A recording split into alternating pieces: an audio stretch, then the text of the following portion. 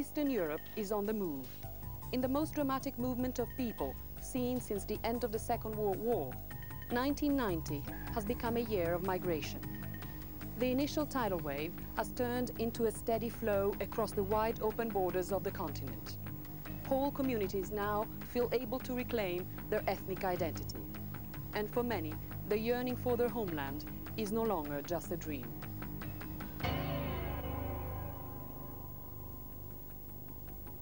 This week on Europe Express, we are devoting the whole program to perhaps the longest and most dramatic exile of all of Europe's displaced people. The Greeks of the Black Sea were persecuted by the Ottoman Turks and banished to Siberia by Stalin.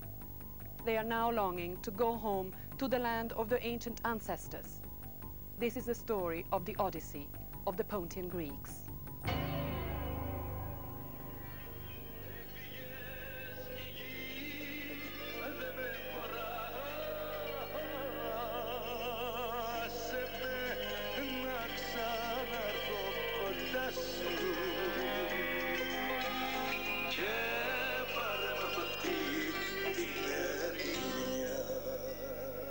Nostalgia on the radio. Greek traditions kept alive on the streets and in the backyards.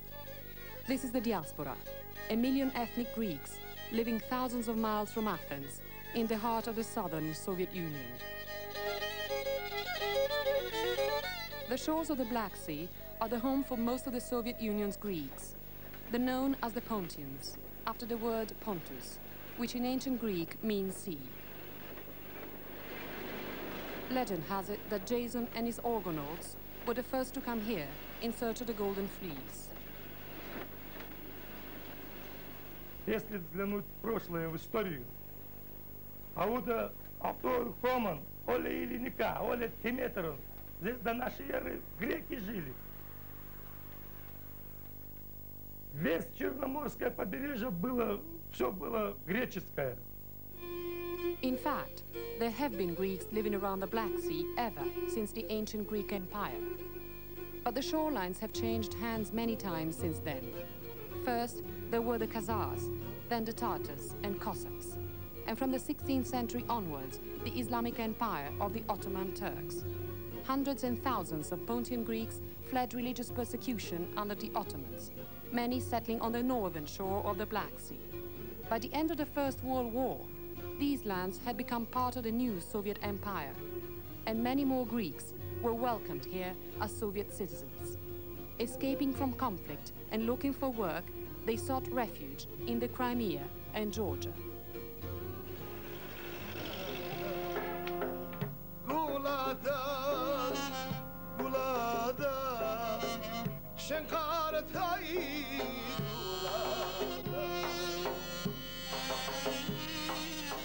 Хочу вот на примере понтийских греков сказать, что э, э, когда мы проживали в Турции под игом Османской империи, наша жизнь была борьба за выживание. В течение под э, османским гнетом мы сохранили свою христианскую веру, сохранили наши традиции. И в Грузию мы переехали только ради того, чтобы не ассимилироваться, не пропасть как нация, не пропасть как, грек, как греки. Since Catherine the Great, the Tsars had encouraged Orthodox Christianity, and the Pontian Greeks continued to feel welcome under the communists, with their culture and faith relatively intact. Life wasn't easy in Georgia. They barely scraped a living off the land. But for them, this exile was preferable to life under the Turks. In the early 20s, Lenin's young communist state was tolerant of minorities.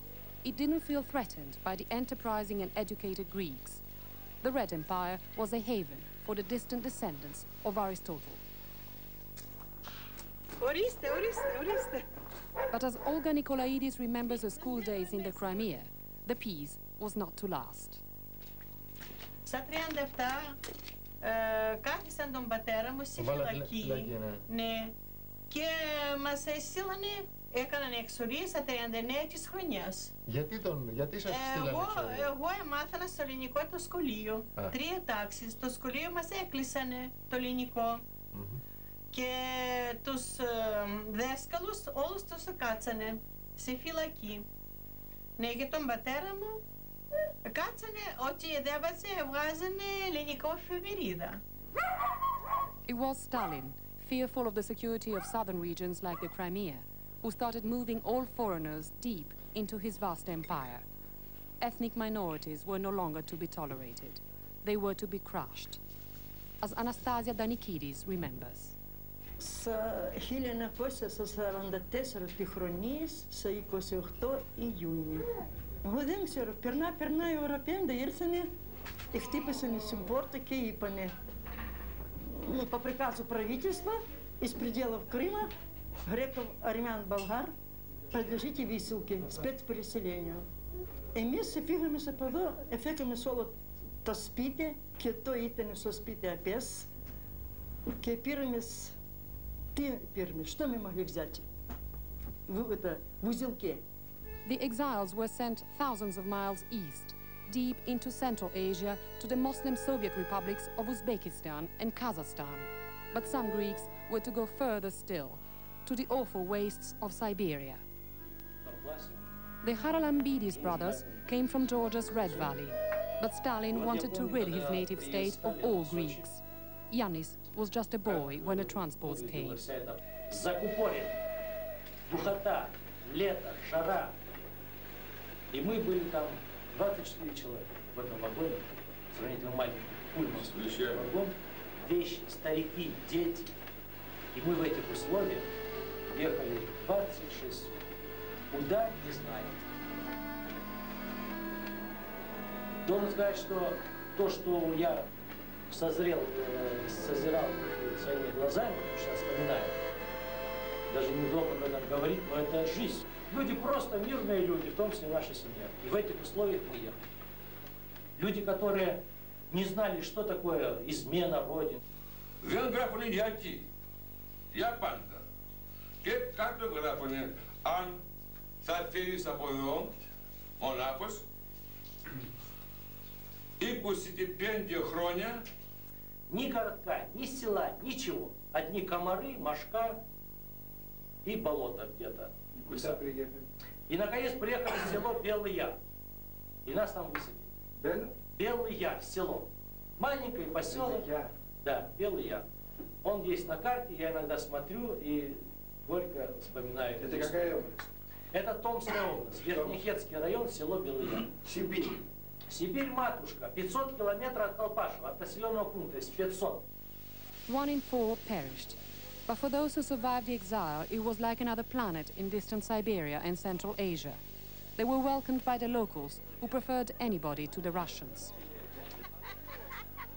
But it's not easy to forgive 40 years of banishment. Открыто буду говорить, что бояться? Я не боюсь. Осталин в Сибири, Да? просто он не любил нацию, мне кажется. И поэтому весь народ растравил, и сейчас пошла вот такая катавасия в Советском Союзе. А то сидели как кос, деспотический антропос это атос. Вяволос ми такерата, ке тиксера ден ехе уради или ехе уради. Ке не только го миловол, лехне, со телевидением лень да атос пара пола эхасен. After Stalin died, life became easier. Many of the Pontian Greeks were allowed to return. Back full circle to their villages on the Black Sea. But as Anastasia's son Kolya remembers, it wasn't a happy homecoming. Органы наши советские всяческими путями этих людей отталкивали от себя. Короче, и говорили, здесь продуктов нет, воды не хватает, что вы сюда приехали? Что вас может связывать с Крымом? Вас, греков, какое отношение вы к Крыму имеете? Может быть, советским властям это выгодно, когда народ разбросами, чтобы он быстрее ассимилировался здесь? Чтоб вообще, ну, люди исчезли, как вроде со своей национальности и так тому подобное. Express.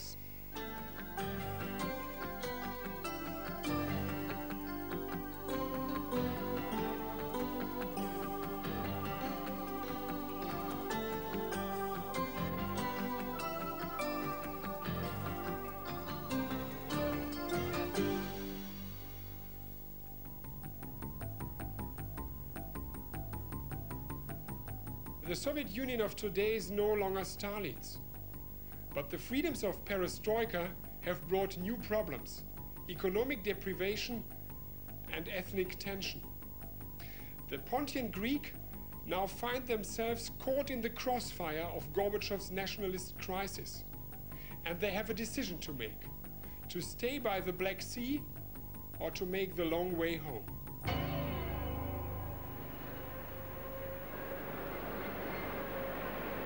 Εδώ Τυφλίδα. Αγαπητοί ακροατές, αρχίζουμε την εκπομπή της ραδιοφωνίας της Γεωργίας στα ελληνικά.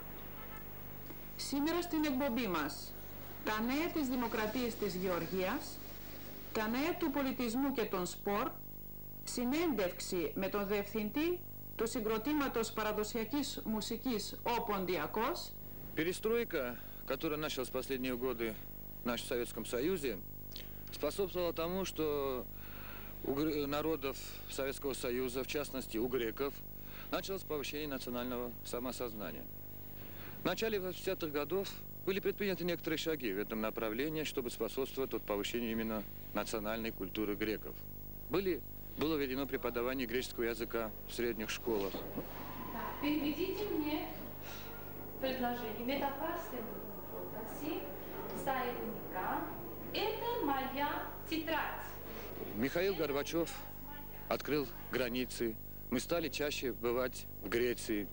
Не знаем нашей истории практически. Утеряли многие традиции.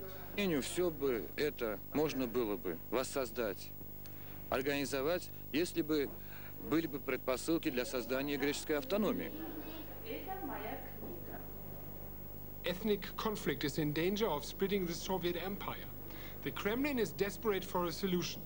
Many now see autonomy as a serious option for many groups, including the Greeks.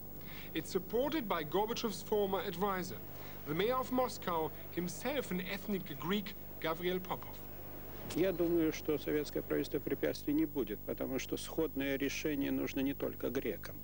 Дело в том, что в Советском Союзе есть группа народов, которые в сходном положении живут. Нельзя говорить о выезде на родину. Собственно, родина здесь и была все время. But most Greeks think autonomy is unrealistic. They don't live in one single region, and everywhere they do live is being torn apart by fighting between other nationalities. These Georgians, demonstrating recently for their own independence, won't offer any gifts to Greeks. Πρας Γεωργίαν, ο Γεωργιάνο λέει Γεωργία αντί Γεωργιανούς. Κατάλαβε. Θα έρθει και άικον ημέρα ποτέ, ποτέ θα διέχνει μας και πική. Άτσεχμε. Γιατί εδώ το Ισβάνι, πώς λένε αυτό. Σφανέτη, Σφανέτη. Είναι. Εκεί σου μας στα χωρία, να πάτε να βλέπετε, κοντά στα χωρία έχτσαν στο σπίτι και εκεί γυρίζουν έρχονται σε μέτρα τα χωρία και λέγανε αυτά θα είναι μέτρα λέει. Κάποτε κάποτε αυτά θα είναι τα δικά μας. Τα σπίτια και εκείνο όλα θα βγει γιατί είναι μέτρων το χώμα. Το, αυτό το κύμα είναι πολύ σοβαρό και είναι απέναντι το κυριότερο γιατί φύγουν γιατί όταν μαλώνουν τα έθνος και τους Έλληνας ας πούμε όταν λένε εσύ ποιο μέρος πήρες; Ας πούμε πήρες του Απχάζ και του, για τους Γεωργιανούς, για τους Αζερμπετζάνους για τους Γεωργιανούς και τα λοιπά, αρμένους για τους Αζερμπετζάνους. Ε, πώς να κάνουμε εμείς; Εμείς λέμε, θέλουμε με όλους εμείς. Όχι, πες μου, με την ανησύηση. But trying to be neutral doesn't give you protection in an ethnic war. Hundreds have been killed here and nobody is safe. Soviet officials and optimists say the nationalist turmoil in Georgia is only temporary. They say the prospects for Greeks in the Soviet Union are good, but the majority disagree. Αυτό να το ξέρετε. Αυτό θα, ε, ερχήνεσαι και δεν θα σταματάει. Θα πάει, δεν ξέρω, 10, 20, 50 χρόνια Έλληνες σιγά σιγά θα φύγουν. Από τη Γεωργία, από το Καζαχστάν, οπωσδήποτε θα φύγουν. Θα μένουν, ναι, δεν λέω, θα μένουν. Πόσοι δεν μπορούμε να λέμε. Α, μερικοί θα μένουν, αλλά νομίζω οι πολλοί θα φύγουν. So in Moscow, at the only Greek consulate in the Soviet Union, the queues are getting longer. Among the thousands starting a long procedure of obtaining an exit visa is Costas. Εγώ για, για μένα θέλω να λέω το, ο, ο όλοι είναι θέλουν για να πάω, για να ζω, να είμαι σε μόνο, για πάντα είναι, για να είμαι σε μόνο το λαό να πες. Να μιλούμε ελληνικά είναι να τα μωρά να μία να σπάνε, να ξένε τα εθνικά, τα национальные обычаи после.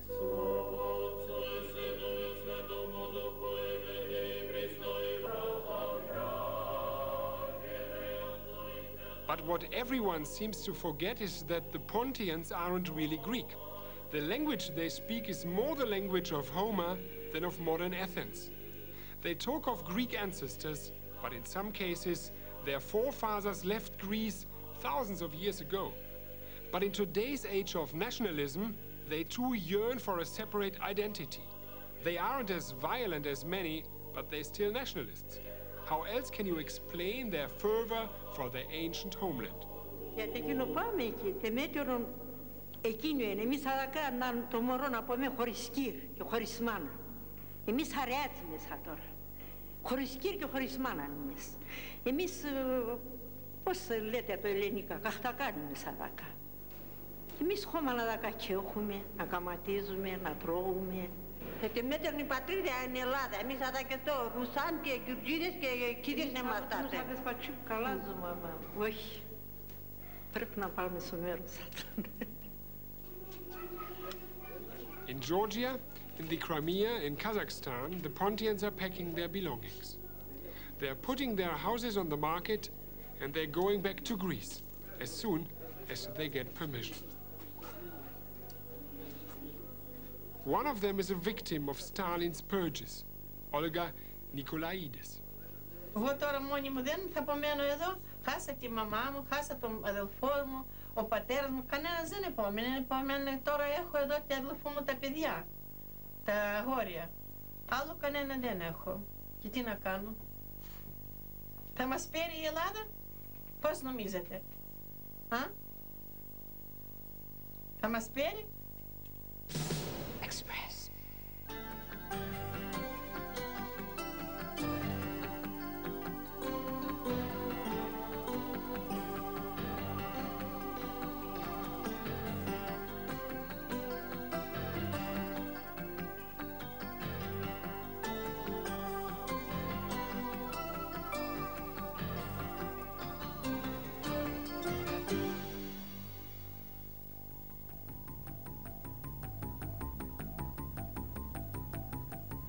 Pontians could not have chosen more difficult time to make their long journey home, for Greece is facing many troubles of its own right now. It's trying to cope with a major economic recession, and this influx of new arrivals is an added burden that many Greeks could do without.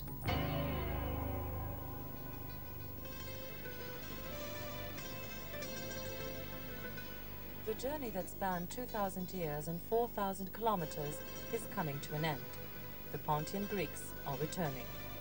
Από, από την Τουρκία έστειλαν την παππούς μας στο Σοχούμι και στο Σοχούμι 19 χρονή ξορίγα εγώ στη Ρουσία, στη Ρουσία, στο Καζακστάν.